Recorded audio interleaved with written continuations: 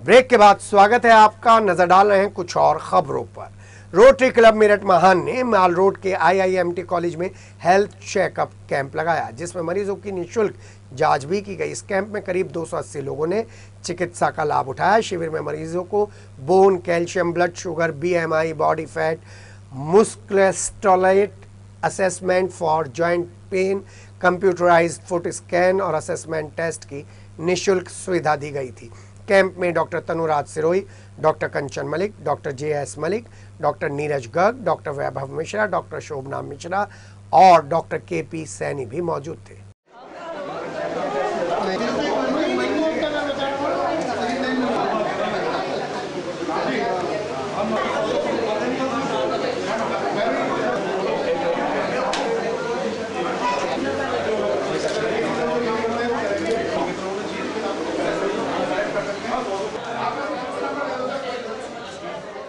कल्याण नगर के श्री कल्याणेश्वर महादेव शिव मंदिर में भगवान शिव परिवार और शिवलिंग की प्राण प्रतिष्ठा की गई। इस मौके पर मंदिर में विशाल भंडारे का आयोजन किया गया, जिसमें श्रद्धालुओं को हलवा, पूरी और सब्ज़ी का प्रसाद वितरित किया गया। मंदिर समिति के अध्यक्ष दीपक शर्मा ने बताया कि मंदिर का जीर्णोद्धार वेद प्रकाश रस्तौगी ने अपनी स्वर्गीय पत्नी शैली रस्तौगी की स्मृति में कराया है।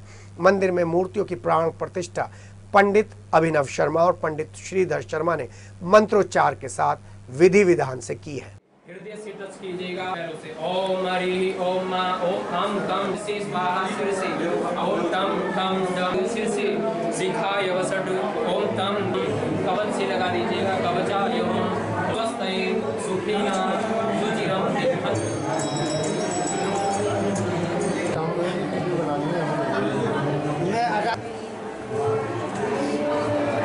पेंसिल से मार्क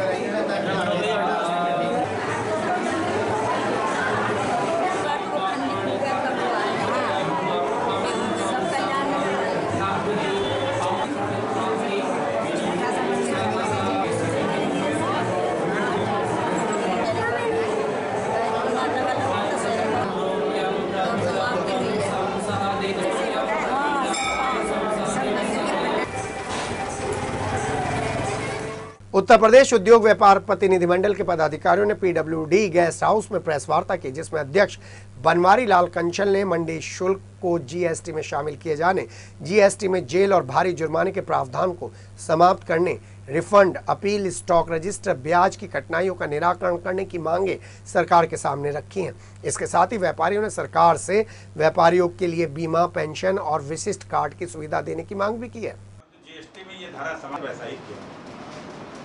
अब आपने वाहवाही पे हम पाँच परसेंट टैक्स लगा अब मेरठ में एक छोटा सा दिक्कत होगी। उत्तर प्रदेश माध्यमिक शिक्षक संघ जनपद मेरठ की कार्यकारिणी की बैठक रामसा इंटर कॉलेज में हुई। बैठक की अध्यक्षता लीला सिंह और संचालन विजेंद्र ध्यानी ने किया। बैठक में संयुक्त शिक्षा निदेशक द्वारा के के इंटर कॉलेज में नरेश कुमार की रसायन विज्ञान प्रवक्ता के पद पर की गई पदोन्नति पर खुशी व्यक्त की गई।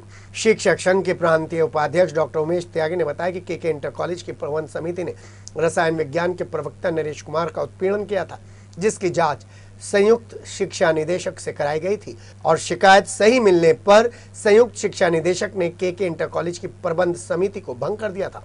जो हमारे उनको महत्व दें और शिक्षा अधिकारी, वो लगातार मोदीपुरम की भरत विहार कॉलोनी में कक्षा 10 में पढ़ने वाले छात्र निखिल का बहन से ट्यूशन पढ़ने के दौरान झगड़ा हो गया था, जिससे गुस्सा होकर निखिल ने 2 जून को ट्यूशन पढ़ने जाने का बहाना बनाकर कहीं और चला गया और वापस नहीं लौटा है।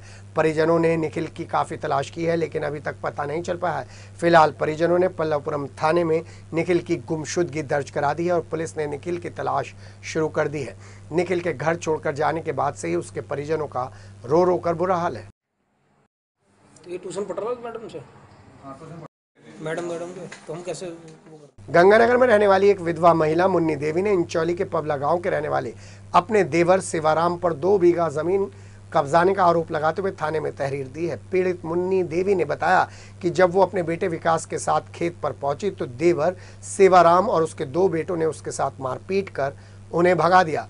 पुलिस ने पीड़िता मुन्नी से तहरीर लेने के बाद जाँच करनी शुरू कर दी है और कार्रवाई का भी आश्वासन दिया है। मेरे चाचा सेवाराम जी, जिन्होंने जबरन हमारी ज़मीन, दो ढाई बीघे ज़मीन पर कब्जा कर रखा है और वो और उसके लड़के हमें जान से मारने की धमकी भी दे रहे हैं। अगर हमारी माँ गाँव में जाती है तो उनके पीछे फावड़ा, कुदाली लेकर भाग लेते हैं वो लोग। ऐसे लोगों के खिलाफ सख्त कार्रवाई की जाए और हमारी ज़मीन पर हमारा कब्जा दिलाया जाए। सिटी हलचल में फाइनल ब्रेक का वक्त आ गया है, लेकिन फाइनल ब्रेक के बाद आप देखेंगे फास्ट न्यूज़।